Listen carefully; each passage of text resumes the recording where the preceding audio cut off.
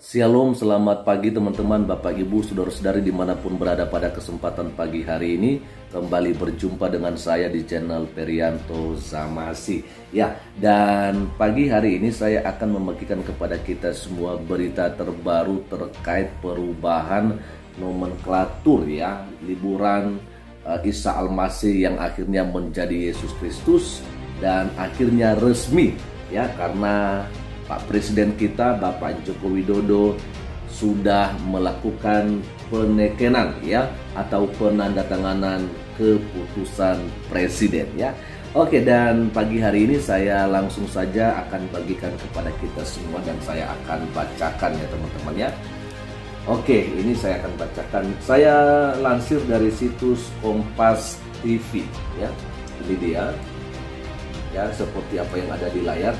Jokowi teken Kepres resmi ubah nomenklatur libur Isa Almasih jadi Yesus Kristus. Ini terbaru ya, ini terbaru kemarin pada hari uh, Selasa 30 Januari 2024 dan diterbitkan pada pukul 15 lewat 54 menit waktu Indonesia Barat. Oke, saya akan bacakan saja kepada kita. Ini dia Pak Joko Widodo sebagai presiden kita teman-teman ya.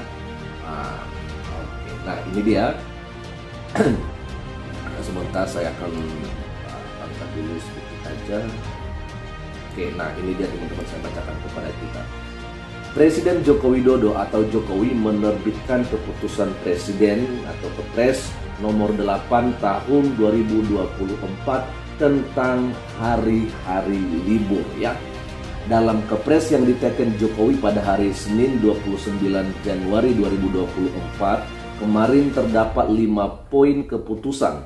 Salah satunya perubahan nomenklatur Isa Al-Masih menjadi Yesus Kristus. Nah, jelas sekali teman-temannya. Jadi Pak Jokowi sudah menandatangani atau sudah meneken Kepres ini pada hari Senin yang lalu ya, tanggal 29 Januari 2024. Lalu berikutnya saya akan bacakan saja sehingga terdapat beberapa perubahan penyebutan hari li nama hari libur dalam kalender nasional yakni berganti menjadi liburan ke, libur kelahiran, wafat, kebangkitan dan kenaikan Yesus Kristus. Dikatakan bahwa dilansir dari salinan dari salinan lembaran kepres yang telah diunggah di laman resmi Sekretariat Negara Selasa 30 Januari 2024 nomenklatur terbaru itu termaktub bersama ke-16 rangkaian hari libur yang tercantum dalam diktum ke-1 ya. Oke dan kita akan bacakan saja teman-temannya ada 16 di sini hari libur yang sudah dituliskan ya. Ini dia yang pertama sekali adalah uh, eh, 1 Januari tahun baru Masehi. Ya ini tetap sepertinya. Lalu kemudian ada juga satu Muharram tahun baru Islam Hijriah ya. Lalu berikutnya ada Isra Miraj Nabi Muhammad SAW. Lalu berikutnya ada Idul Fitri dua hari. Idul Fitri ada dua hari teman-teman ya. Oke, lanjut saja. Ini dari pertama sampai ke empat ini, eh dari kedua sampai ke empat ini uh, untuk saudara kita Muslim. Lalu seterusnya Idul Adha, ya. Ini juga untuk saudara kita Muslim. Ya. Lalu berikutnya adalah Maulid Nabi Muhammad SAW. Wah, ini dia untuk saudara kita Muslim semua ini ya. Oke, lalu berikutnya kita akan melihat dari nomor 7 yaitu kelahiran Yesus Kristus. Ini dulu adalah Natal ya. Dan Natal ini memang sering kali uh, diperdebatkan oleh saudara-saudara kita yang saya pikir sebenarnya mereka nggak ada kepentingan ya secara agama gitu ya karena jelas mereka ya bukan orang Kristen tapi sering kali memang ini menjadi bahan perdebatan ya.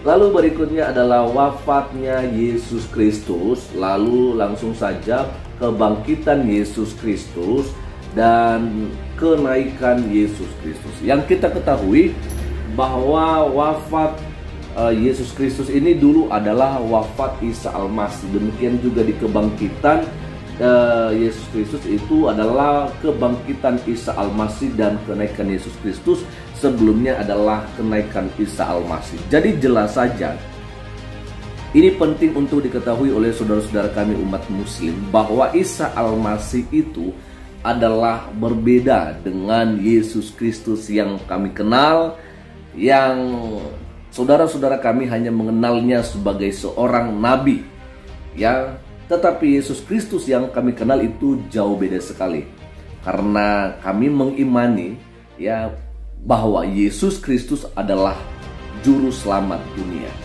ya dia adalah firman yang telah menjadi manusia jadi di sini Anda harus bisa mengerti kalau beberapa waktu yang lalu ada yang mengatakan kalau Yesus itu bukan Tuhan. Itu dari versi mana? Emang di Al-Qur'an dibahas tentang Yesus? Tentunya tidak. Yang dibahas di Alkitab itu adalah Isa, ya kan? Jadi Anda jangan menyamakan ya Isa Al-Masih yang Anda pelajari di dalam kitab suci Anda dengan Yesus Kristus yang kami pelajari di agama kami, di Alkitab kami gitu ya. Oke, lalu berikutnya yang ke-11 adalah hari suci Nyepi tahun baru Saka ini. Lalu berikutnya adalah hari raya Waisak, lalu berikutnya adalah uh, nomor 13 tahun baru Imlek dan nomor 14 yaitu proklamasi kemerdekaan ya. Ini 17 Agustus tentunya. Lalu berikutnya hari lahir Pancasila dan yang paling terakhir adalah Hari Buruh Internasional pada tanggal 1 Mei. Ya, oke okay ya. Lalu berikutnya kita akan coba lihat saja di sini teman-teman. Saya akan bacakan. Sementara itu pada diktum kedua disebutkan apabila pada hari-hari libur tersebut sebagaimana dimaksud pada diktum ke-1 aparatur sipil negara karena kepentingan tugas dinas atau pekerjaan diharuskan bekerja baginya berlaku ketentuan-ketentuan bekerja pada hari libur ya. Ini adalah khusus untuk para, eh, para pegawai negeri sipil ya. Coba kita lihat aparatur sipil negara karena kepentingan tugas atau dinas ya pekerjaan diharuskan bekerja. Jadi mereka tidak kenal soal yang namanya hari libur yang tadi. Kalau itu memang kepentingan tugas dinas atau pekerjaan di kantornya masing-masing sebagai seorang aparatur sipil negara atau PNS ya. Lalu berikutnya kita lihat saja di sini dikatakan adapun hari-hari libur sebagaimana dimaksud pada diktum ke-1 angka 2, angka 4 dan angka 5 ditetapkan setiap tahun oleh menteri yang menyelenggarakan urusan pemerintahan di bidang agama.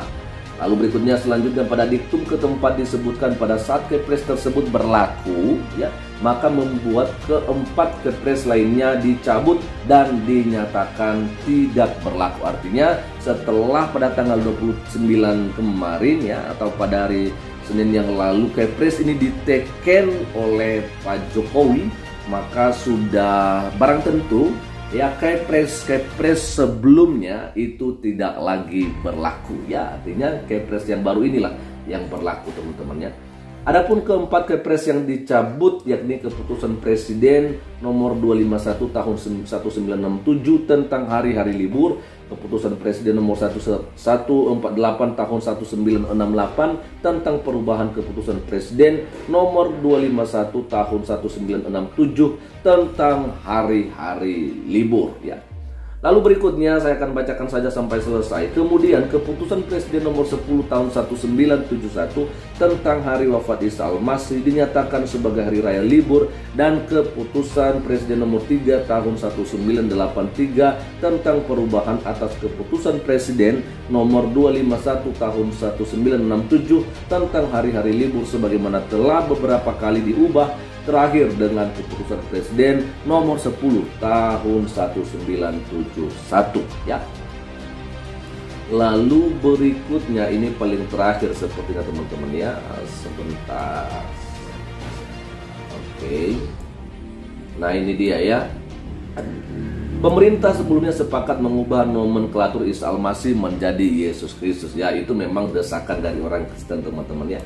Dan paling terakhir sekali yaitu Wakil Menteri Agama Saiful Rahmat Dasuki mengatakan perubahan nomenklatur Isa Al-Masih menjadi Yesus Kristus pada penamaan hari libur nasional itu berdasarkan usulan umat Kristen dan Katolik. Ya jelas saja, memang kenapa ini harus diusulkan dan kenapa ini memang harus diubah karena banyak sekali saudara-saudara kami yang bukan Kristen ya terlalu mencampuri atau mengurusi soal yang namanya Yesus Kristus karena kenapa? Karena mereka berpikir kalau apa yang ada di dalam kitab suci mereka itu mereka anggap sama dengan apa yang ada dalam kitab suci kami mengenai Yesus Kristus padahal itu jauh sekali perbedaannya.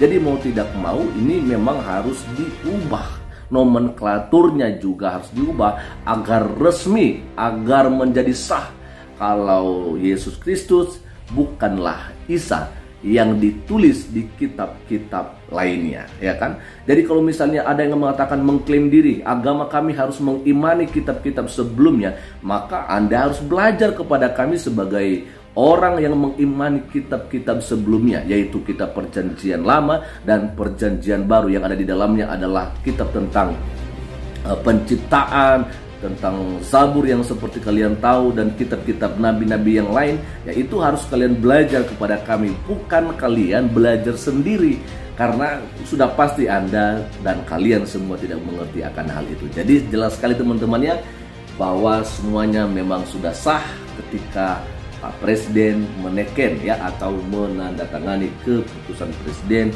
atau Kepres pada tanggal 29 Januari 2024 yang lalu.